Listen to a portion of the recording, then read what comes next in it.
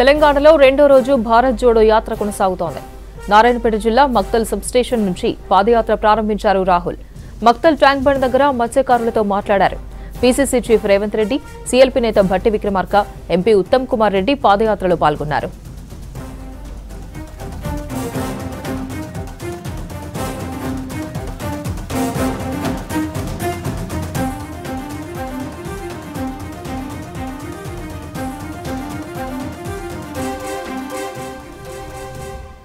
మధ్యాహ్నం బండ్లగుంట చేరుకుంటారు రాహుల్. భోజనం చేసి కాసేపు విశ్రాంతి తీసుకుంటారు. సాయంత్రం తిరిగి నడక ప్రారంభిస్తారు. గునుముకుల క్రాస్ రోడ్ దగ్గర కార్నర్ మీటింగ్లో మాట్లాడనున్నారు రాహుల్. రాత్రి మరికల్ మండలం యలిగన్ల చేరుకుని అక్కడ బస చేయనున్నారు. ఇవాళ ఇరవై ఏడు కిలోమీటర్ల మేర పాదయాత్ర కొనసాగనుంది.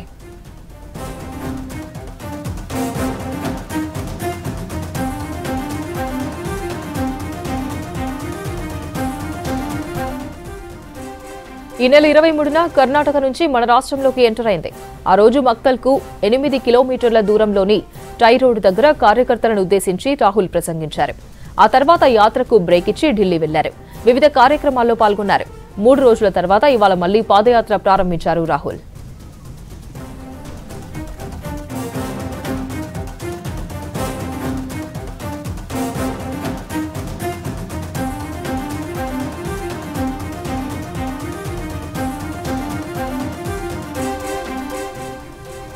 తెలంగాణలో రెండో రోజు భారత్ జోడో యాత్ర కొనసాగుతోంది.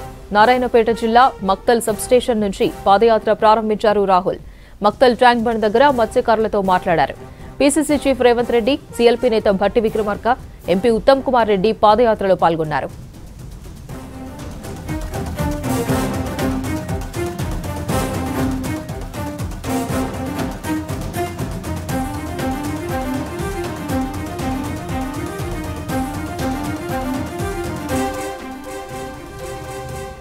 మధ్యాహ్నం బండ్లగుంట చేరుకుంటారు రాహుల్. భోజనం చేసి కాసేపు విశ్రాంతి తీసుకుంటారు. సాయంత్రం తిరిగి నడక ప్రారంభిస్తారు.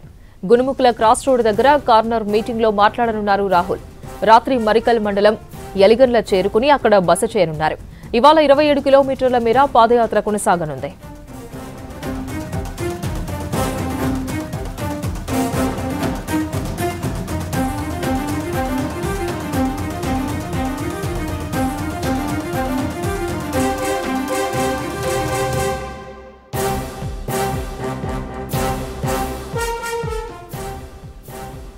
ఈ నెల ఇరవై మూడున కర్ణాటక నుంచి మన రాష్ట్రంలోకి ఎంటర్ అయింది. ఆ రోజు మక్తల్కు ఎనిమిది కిలోమీటర్ల దూరంలోని ట్రై రోడ్డు దగ్గర కార్యకర్తలను ఉద్దేశించి రాహుల్ ప్రసంగించారు. ఆ తర్వాత యాత్రకు బ్రేక్ ఇచ్చి ఢిల్లీ వెళ్ళారు. వివిధ కార్యక్రమాల్లో పాల్గొన్నారు. మూడు రోజుల తర్వాత ఇవాళ మళ్ళీ పాదయాత్ర ప్రారంభించారు రాహుల్.